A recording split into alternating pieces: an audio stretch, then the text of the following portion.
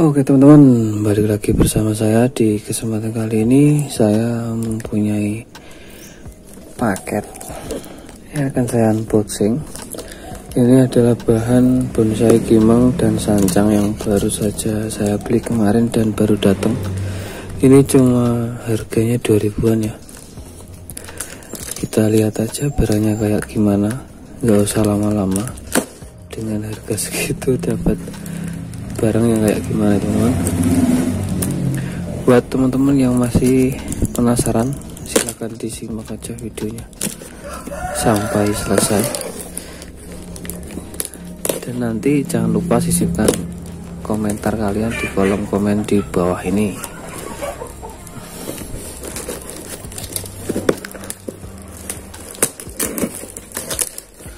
Untuk bagian bawahnya di sini ternyata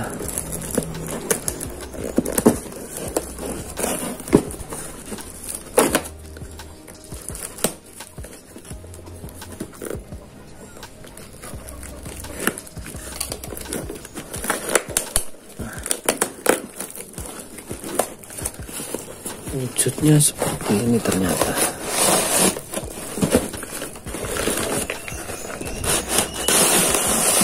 Nah kita tarik aja? Dan kita udari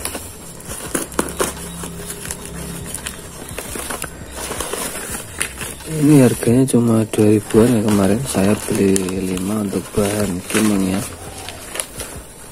ternyata ini bahan sancangnya kayak gini nih.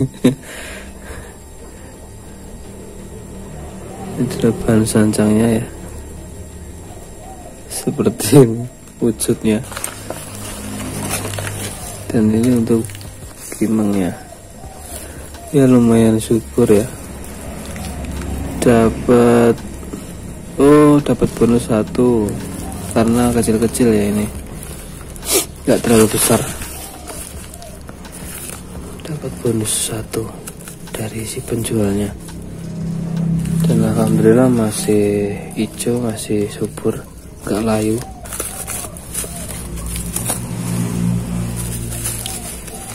Kita buka aja ini masih di dalam polybag nah, mantap lah seperti ini teman-teman. Wujudnya dari dalam. Kelihatan ya nah. Ini dari jangkauan. Seperti ini. Dengan harga segini lumayan banget ya. Udah dapat 6 batang. Eh, 5 ya 5 5 batang 5 batang ukurannya ya lumayan. Nanti buat saya sambung atau saya gabung nantinya ini los pucuk ya ternyata. Los pucuk ini teman-teman. Harganya cuma 2000an loh. Murah ya. 10.000 udah dapat gede ya kalau digabung nih udah lumayan ya besarnya. Untuk sancangnya ini kemarin saya beli di tulisannya seribuan saya beli dua dapat lima tapi ya ini kering ini. Nggak bisa dipakai nih udah kering tapi masih hijau sih dalamnya. Ini akan coba saya rendam di air dulu nanti.